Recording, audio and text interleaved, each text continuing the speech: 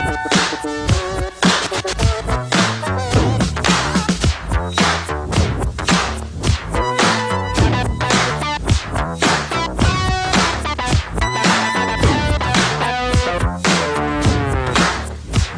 this is a story of famous dog.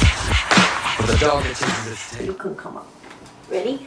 Oh my god, you're heavy. There. Harmonic oh dogs. House dogs. Dogs. Dogs the world unite. Dancing dogs. Well, I was visiting my sick brother and I got a call in the hospital room from you.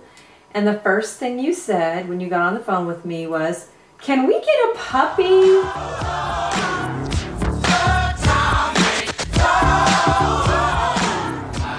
And I thought, boy, that's rude. Here your uncle is in the hospital and and I just thought it was really funny too, and I laughed. I said, "No, of course we can't get a puppy." And that was that. And um, your dad got on the phone and explained that you had gone to the farmer's market and there was this barrel of puppies and they were very cute, but he said, absolutely not, we're not getting a puppy. Why must I feel I got home and I went to the farmer's market and I saw the barrel of puppies and they were so cute. And there was Penny and I picked her up and then I had to get her.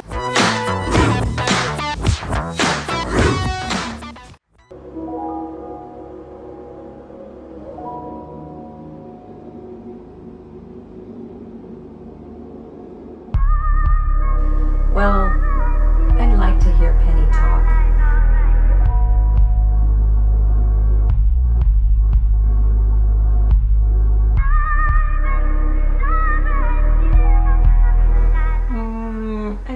an Australian accent.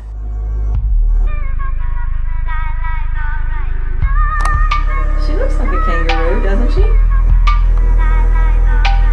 She's the color of a kangaroo.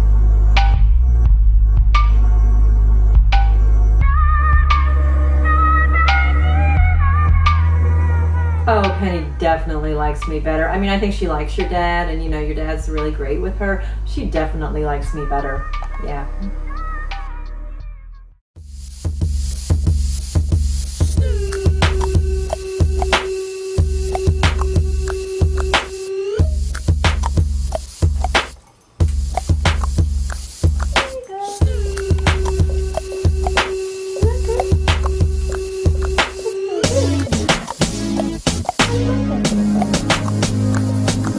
The pimp's in the crib, ma, drop it like it's hot. Drop it like it's hot. Drop it like it's hot. When the pigs try to get it, park it like it's hot. Park it like it's hot. Park it like it's hot.